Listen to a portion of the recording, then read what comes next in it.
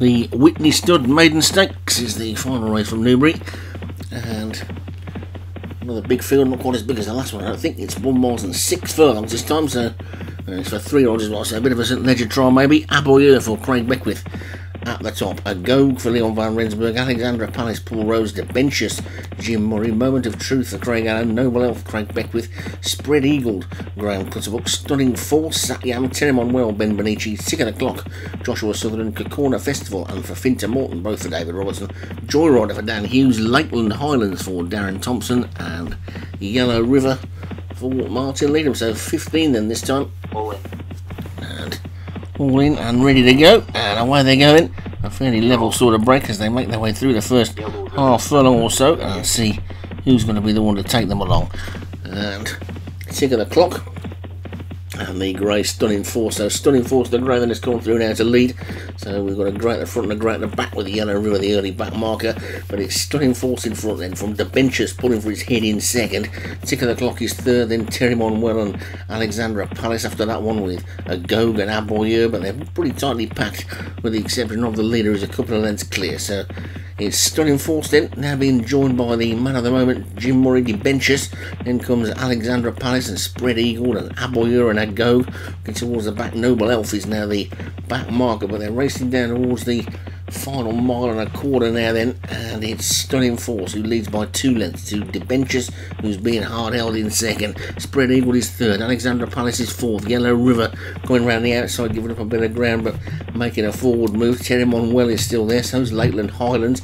Um, and Corner Festival's trying to make a forward move as well but stunning force is now four clear off Debentious in second and spread eagle. Then Yellow River and Alexandra Palace. Corner Festival and a go. Terimon Well and Aboyeur moment of truth is trying to creep through on the inside, getting a bit of a dream split there by the looks of it. But it's stunning force who's still clear by three. Two Debentious in second. Alexandra Palace wide on the track. So to Yellow River. But it's stunning force still in front. Another grey drop to the back now. That's Joyrider. But it's stunning force in the lead, then passing the seven furlong pole.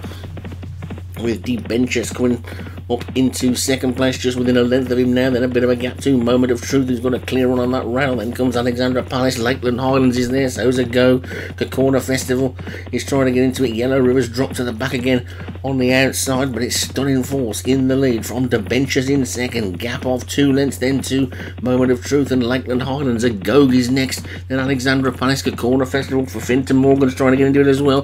Then towards the back, it's still Yellow River who's now trying to go up the inside, but it's stunning force in the lead from Debentious in second. Four furlongs to go for Finton Morton moves through into third. Then Moment of Truth, Lakeland Highlands, a Gog de Grey is still up there well. So is Alexandra Palace. Tick of the clock is also still there as well. Plenty in with chances switching to the outside. Spread Eagle is now trying to come through with a run. The leader gets swamped and Lakeland Highlands takes it up. It's Lakeland Highlands from Moment of Truth. Two and a half furlongs to go. Lakeland Highlands closest to us. Moment of Truth in the green and yellow on the far side. The bench is back in third. Stunning Force is now beaten.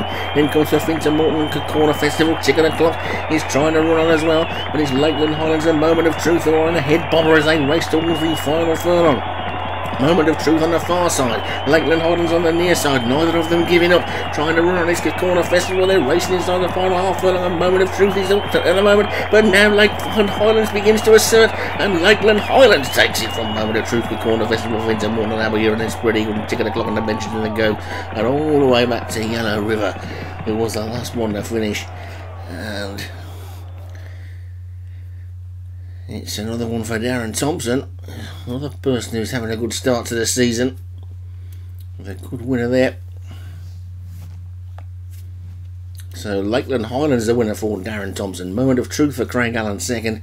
Kakona Festival was third and for Finton Morton was fourth. Both for David Rawson and Aboyeur for Craig Beckwith was fifth.